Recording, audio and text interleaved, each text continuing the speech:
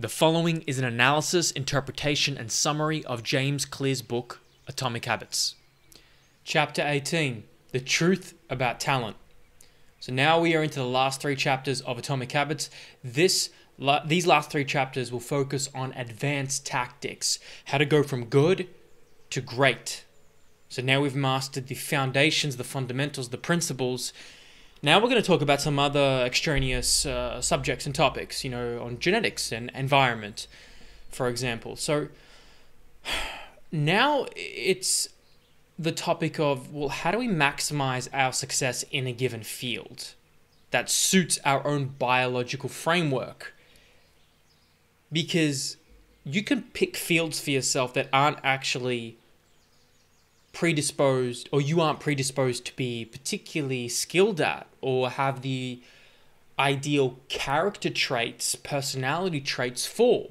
I am an example of this. I fell in love and I chose the discipline to dedicate myself solely to something in my life when I was a teenager, and that was basketball. I wanted something where I feel I could be worthy at, good at. I felt like I was worthless. I didn't have anything I was skilled or naturally talented at. So I just picked that because of my circumstances and environment predisposed me to that. However, later on, after I moved away from it, after I moved away from, you know, trying to take it as far as possible, I realized in reflection that my skill set, my natural aptitude, my genetics were not suited to be ideally, optimally, effectively successful at this game. I was running a constant uphill battle, and it makes me think how many other people out there are running that uphill battle too unnecessarily. Yes, you fall in love with something. Yes, you're passionate about it. Yes, you you want it really bad, but could you have that same feeling about something else, but this time with the other thing, you feel similar, but you're naturally skilled at it your personality's more suited to it. And now you're running downhill instead of uphill. Now momentum is on your side. And after I moved away from basketball, I felt that. I realized that. I found the thing. And that's the, my dedication and pursuit to the fundamental understanding of the, the science of the human body and its practical applications on how to optimize it for health, longevity, and performance. This is, this is what I dedicate my vocation to. it, it is the major, my major vocation. And when I found that, I'm like, oh man, this communication, leadership, something that has clear defined endpoints and outcomes that weight training and often exercise uh, modalities do, I could be more successful at, more effective at. And then I could lead other people, coach other people to do the same thing, similar thing, if not even better. That's what Strength of SARD is, for those who aren't familiar can see it on Instagram and my website if you want. Now, how do we do because there's an example like how, how do we maximize our success now? I've given you my my spiel my story short briefly. Like all right let's give a real example. Michael phelps. He has the ideal body for swimming. Long torso short legs. Me with basketball was suboptimal. It's, it was my like even though i am average or slightly above average in height you have to be very above average in height and ideally muscular size and strength, power, speed, change of direction capabilities, motor control, uh, coordination. I was not that. And it's not that you can't make it if you don't have a natural aptitude towards something, it's just that makes it that much harder and longer. And so there is a cost. The cost is higher because the inputs you have to put in to get to the same outcome as someone else who has a greater amount of talent and skill and genetic potential and personal better uh, better personality uh, traits. If the if the work committed is equated, they will always win. However, there's the quote: talent when talent fails to work hard, working hard will beat it. But if talent works hard, good luck. You're going to have to work even harder, smarter, more consistent. Michael Phelps is the ideal torso for body, uh, torso for swimming. You can have marathon runners, they have the ideal uh, limb length of their lower extremities, their legs, for running because a longer femur, tibia, lower extremities enables greater stride frequency and stride length, particularly. So, how can we choose things that shift the playing field so we can run downhill instead of uphill? How many people listening to this did uh, chased something or are chasing something that they know that they're fighting a constant uphill battle? Like eventually, that battle's gonna you're gonna you're gonna be done with the battle. You don't fight forever, and you're gonna move on to something else. So, how do you choose something? And maybe some of you haven't found the thing, but how do you choose the thing that's suited towards your natural aptitude, skills, and talents? Well, you want to play a game where the odds are stacked in your favor. And this is dependent on a, a, a framework of self awareness about yourself, who you are, what you're good at, what you're skilled at, what you're curious at, and your personality temperament, which we'll talk about soon and how to uncover that. So you want to find the cross section of something you love, you enjoy doing, something you have a natural proclivity for.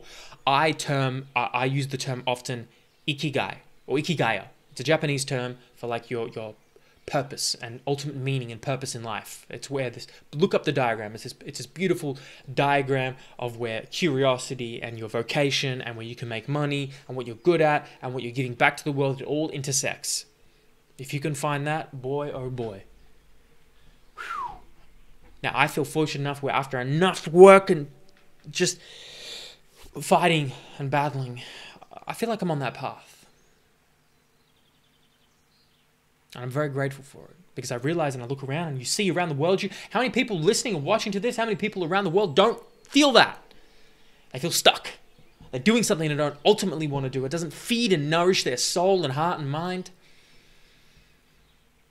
And maybe they're 20 years into a family and they feel stuck, and maybe they're 40, 50 years old and they feel like their life's over.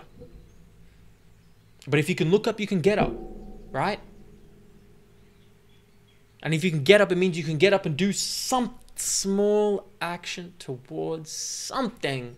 It doesn't have to be a dramatic change, like we've talked about. 1%. We forget that people are at the top of their fields are not only very well trained and experienced, but they're often very naturally suited to their fields. They're, there's always outliers, but we're talking 80 20 Pareto's rule here, meaning 80% of the people are going to be that very well trained, very well suited, naturally have a proclivity for it. Now, it's also a selection bias we have to understand is that the people at the top of their fields usually the, the, the top of the field biases people who have a natural who are naturally suited to be successful at the top basketball professional basketball professional sports they have a selection bias towards the characteristics that ultimately benefit the success in that said sport. The same thing as for a, a, lawyer, the same thing as for a doctor. There are certain uh, personality proclivities and traits, characteristics that one that makes one much more that their ability to be successful and effective at that field much higher. So you may want nothing more than to become a lawyer or a neurosurgeon or uh, a, a study artificial intelligence and, and build the next uh, revolutionary AI. But we have to understand that what's theoretical isn't always practical, and what you know what you dream may not be the best manifestation of what you could be doing in this world. And just because you love it doesn't mean necessarily you should dedicate your entire life to it, but it also doesn't necessarily mean you shouldn't do it. But if you find an outlet like this, this is an outlet for me. This is an outlet for creativity, for philosophy, for psychology, for like my just how I think about the world. This is this is an outlet to for me to communicate my operating system to the world and to to to summarize and analyze a lot of these ideas that I'm learning. What if you could get paid to do that? Oh wait, People do. Now, it's not because of the money. That's just a bonus, but it's possible. People make it. People can do it. But I'm not put, putting all my chips in this basket where it'd be like, I got, I love this. I gotta do this. I'm just gonna keep analyzing books and just waiting and keep grinding until until. That's not what I'm trying to do. You can. You could say I have a natural proclivity for it and I may be able to be more successful at it than others, but you have to ask that for yourself. Is the thing you're doing now, are you naturally suited? So in this case, Are we and you selecting the right place to focus? I wasn't so much with basketball, but you, everybody listening and watching has to ask themselves at the end of the day and be honest with themselves: Are we selecting the right place to put our focus? It's okay to do a few things at once, but ultimately, like, like you can be the polymath, you can be the Leonardo da Vinci type. You know, we we've never had, I think, more examples of people who do multiple things and can be successful in multiple modalities. but there's going to generally be a thing you have a naturally proclivity for, and that's where you may want to focus more of your time, particularly in the front end. So you can build a solid foundation of financial security and independence and the systems and the habits and skill towards that. Now let's talk about genes. Something we can't control once we're born, we can only control the expression of them, termed epigenetics, through our environment and our behavior. Genes. The area where you are predisposed to success are the areas that are more likely to be satisfying because we're going to be better at them. So, of course, you're going to be satisfied and, and feel better about something that you have a natural skill at. The key is to direct your effort towards areas that both excite you and you enjoy and match your natural skills. So, this is how we align ambition with ability. So, how do we determine where the odds are stacked in our favor? So first you've got to understand your character, your personality. Most people never bother to ask the question or really learn about themselves. Who are you? Are you just on the treadmill of life, constantly going? Have you stopped to pause and think? Are the beliefs that you hold of your own volition and choice, or are they just a indoctrination of the society, culture, environment, parenting around you? So let's understand there is a psychological framework called the Big Five. Many would have heard of from Jordan Peterson. I've referred to before. I've done his 12 Rules for Life for those who are curious on this channel. All 12 rules I've analyzed. Incredible book. Now, all five characteristics have biological underpinnings. We're talking about openness, extroversion, agreeableness, neuroticism, and conscientiousness uh, Jordan Peterson hosts, you can do this test online. Peterson hosts a test that I would highly recommend. It's a small fee of what, $10 or something. And you can, it asks you a series of questions, and this is where you test your, where you sit on the spectrum. Let's give some examples. Openness. This is openness to experience. Are you on the curious and to inventive side, or are you on the spectrum that is more cautious and consistent? So we have different ends of openness. We have different ends of all these traits. So ask yourself: Are you more curious and inventive? But it's not just the it's not just the the, the, the one word the characteristic words. It's understanding the implications of them, which the Big Five personality test helps you understand. It helps you understand the types of people, relationships you'd be suited for. It makes you think about, wow, okay, that's how I deal with problems. Oh, now I kind of see why. Well, I may not mesh well with someone who has low on openness. I may mesh well better with someone who's high on the openness spectrum. Oh, why do my relationships keep crumbling beneath? Why do I keep attracting these types of guys or girls or whatever? You know, oh, I tend to gravitate towards people who are high neuroticism. They're sensitive to negative emotion. Well, I don't do well with that. Yet for some reason, I keep gravitating towards those types of people. Why is that? Maybe what if I had more friends and family or, or people in my life that were low on neuroticism? How much less stressful could my life be? These are the questions it makes you think of. Let's go to the next one extroversion, introversion. Uh, actually, you can track this from birth. Scientists play loud noises in a nursing ward, and the babies that turn towards the sound are more likely to become extroverted when they test them later in life compared to the babies that look away. Introversion. Agreeableness. Higher agreeableness. So, are you agreeable or disagreeable type of person? Okay. When someone uh, says their perspective to you or, or asks you questions or challenges you, do you tend to be like really agreeable uh, and you know kind of a yes man or woman or are you quite disagreeable and you're always providing the, your two cents and your your uh, counterpoint of view. You know, I probably I believe I skew on more disagreeableness. Okay, uh, and so that's going to have implications where if you're with somebody who's really agreeable and you're really disagreeable, that might be a recipe for a bit of conflict. So then you need to communicate that with your partner, with your friends, with your family. Hey, this is this is my personality proclivity. Uh, it's not a, fl- a switch I can flick on and off. Please be patient with me. I'm going to do my best here. So higher agreeableness tend to have higher oxytocin levels. Oxytocin being released uh, when we have sex, uh, when we're hugging, when we're uh, intimate affection, and that makes sense because oxytocin uh, and agreeableness. Agreeableness is like a, it's more of a positive feeling. Yeah, yes, oh yes, yes. It's more of an optimistic feeling generally. Uh, this person may be more influenced to build habits and enforce social cohesion and connection, like reaching out to people consistently to talk, writing thank you notes, organizing social events. But they may be more easily preyed on by for manipula- manipulative purposes by other entities. Neuroticism. Uh, neuroticism is your sensitivity towards negative emotion. Uh, we could use the news as an example, uh, which which is very good at stimulating neuroticism in people. But how sensitive or resilient are you to negative emotion? Uh, neuroticism has been linked to hypersensitivity of the uh, amygdala, uh, which functions to notice threats.